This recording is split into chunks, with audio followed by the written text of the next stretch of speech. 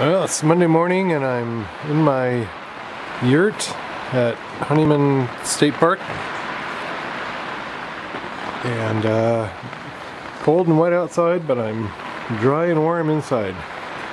And I'm really glad I have a yurt because it's really coming down today.